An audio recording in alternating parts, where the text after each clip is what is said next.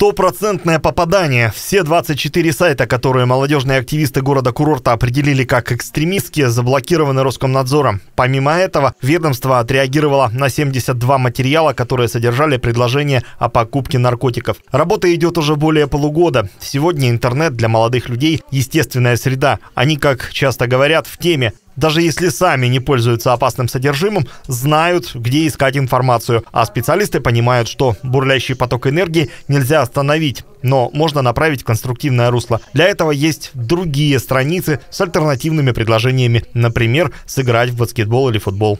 Мы должны предоставить альтернативу. А как раз альтернатива вот этой деструктивной информации в интернете, это наши э, позитивные мероприятия, это то, что проводится на территории каждого сельского округа, э, округа и посредством школ, э, клубной системы наших клубов по месту жительства. И тут я хотела бы сказать, что эта работа носит, безусловно, межведомственный характер. Спасибо э, администрации сельских округов, практически у всех мы на, находим понимание.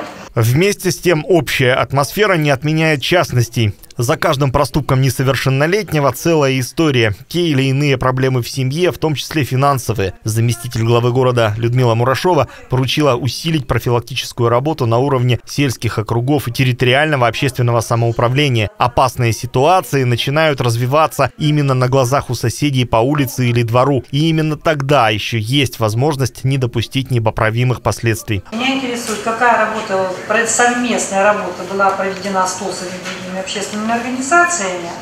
А, какое влияние имеете вы, вы, общественность, да, на те семьи, в которых воспитываются эти дети, какая работа проведена, что сегодня проводится и на контроле у кого стоят эти семьи в сельском округе. Я понимаю, что это не официальный контроль, это не учет. За полгода общая картина не ухудшилась, но и не улучшилась. И Людмила Мурашова сделала акцент именно на второй части. С точки зрения заместителя главы, только положительная динамика и есть настоящий результат. А для этого в совместной работе не должно быть равнодушных.